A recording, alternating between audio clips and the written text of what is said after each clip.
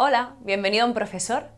En este vídeo vamos a hablar de las células que forman el tejido conectivo, o también llamado tejido conjuntivo. ¡Ah! ¡Ah, esto es muy duro! La función principal de este tejido, que sin embargo incluye una gran, gran diversidad de subtejidos, es una muy específica. Podemos englobar toda esta gran variedad en tejidos que lo que van a hacer es rellenar el espacio entre otro tipo de tejidos, de forma que van a dar un sostén al organismo, van a permitir que los otros tejidos estén cohesionados y también van a ayudar a que los otros tejidos estén protegidos. Esto es algo como muy genérico, pero vamos a ir entrando poco a poco en cada uno de estos subtejidos conectivos o conjuntivos que existen. Antes de ello, alguna generalidad más. Si hemos hecho un paquete en el que hablamos de tejido conectivo conjuntivo, es porque todos ellos sí que comparten algo, que es que tienen una matriz extracelular, es decir, el espacio que hay externamente a las células que las rodea.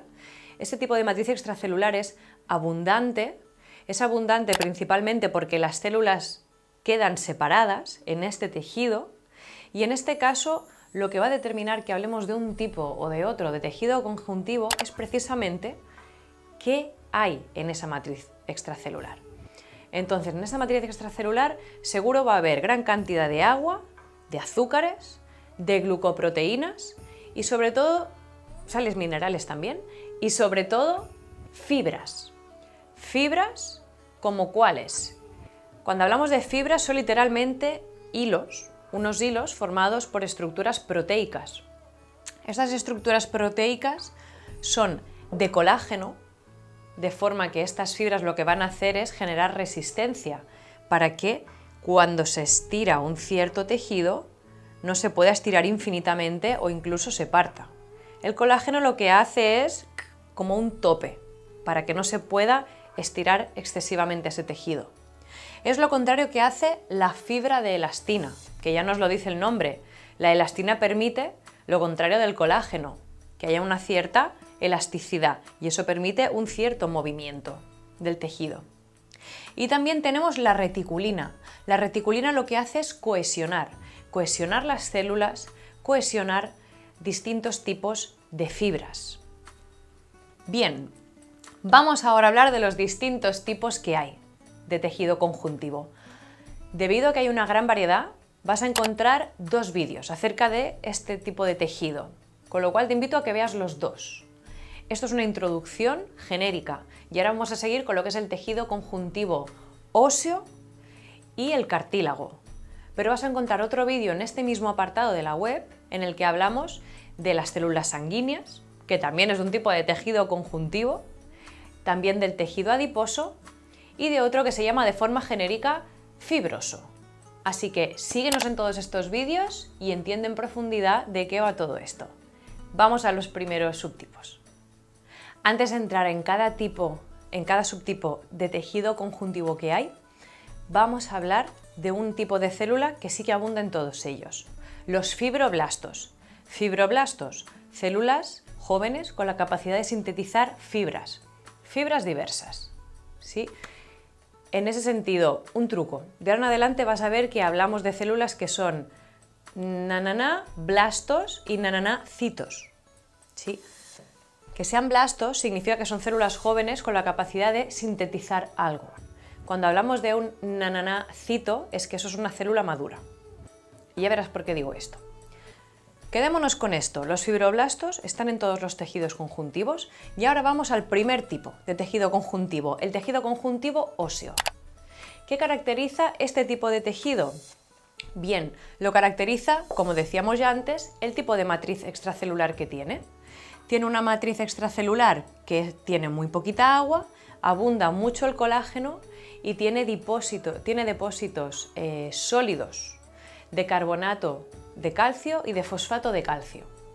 Los huesos son ricos en calcio, ¿sí? Son reserva de calcio. Y de hecho los huesos son duros, son rígidos y eso lo que nos permite por un lado es sostener el cuerpo y también proteger al cuerpo. Esta es la matriz característica del tejido conjuntivo óseo y además posee sus propias células. Posee osteoblastos. O sea, son células jóvenes con la capacidad de crear más hueso. Cuando esas células maduran, son los osteocitos, que son las células que forman el hueso maduro. En los huesos, y esto con los niños es donde más se ve, tenemos las regiones más periféricas, que son las que crecen, y las del centro, las zonas centrales, son las maduras. Entonces los osteoblastos se acumulan en las zonas periféricas del hueso y los osteocitos están en medio. Estos crean, estos son la versión madura de las que crean y los osteoclastos son los que rompen el hueso. Sí, tenemos células que rompen el hueso dentro del propio cuerpo. Y eso es necesario, porque si no el hueso nunca crecería.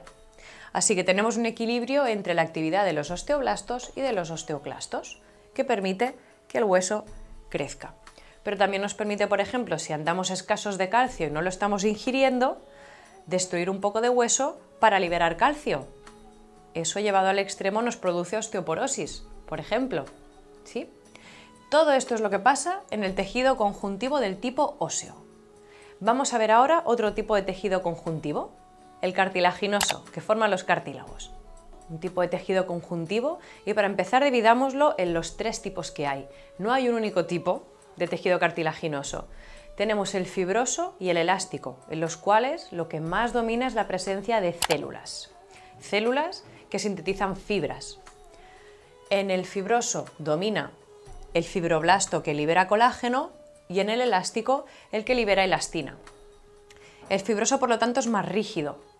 El cartílago fibroso es el que encontramos en los discos intervertebrales, ¿sí? en, la, en la columna vertebral. También en los meniscos, por ejemplo. El elástico, sin embargo, es el que tendríamos en zonas que son más, más dúctiles, ¿sí? como pasa con el pabellón de las aurículas, como